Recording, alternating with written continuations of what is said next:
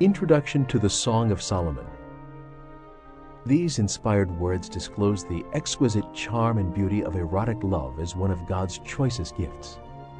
The Song of Solomon is a series of poems or songs representing the fond memories of Solomon and his bride as they remember their first meeting, their courtship, and their marriage. This is the kind of love worth waiting for. The Song of Solomon also serves to remind us of God's love and passion for his people, and of Jesus Christ's self-sacrificing love for his bride, the church.